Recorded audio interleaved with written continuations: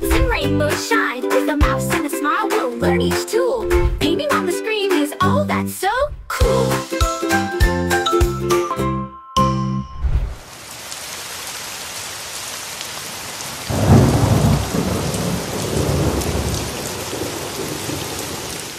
Hey, little artists!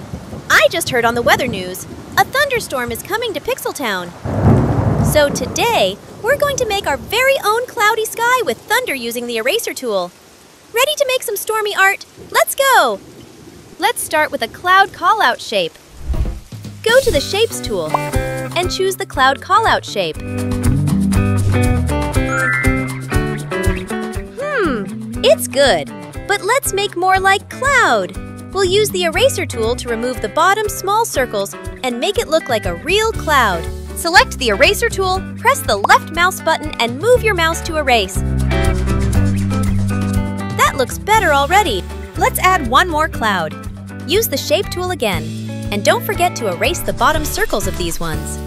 Uh-oh! What's a storm without some lightning? Click on the Shapes tool again and choose the lightning bolt shape. Boom! That's where the thunder's hiding. Let's color it now. Time to bring the storm to life.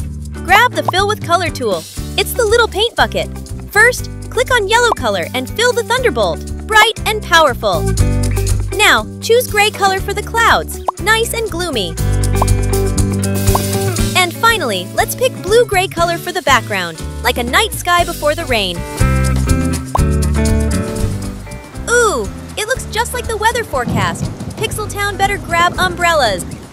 Great job, little artists! We learned how to use the eraser tool to shape things just the way we want. Our clouds are perfect, and that thunderbolt is ready to roar. See you in the next episode. Until then, keep creating and keep smiling.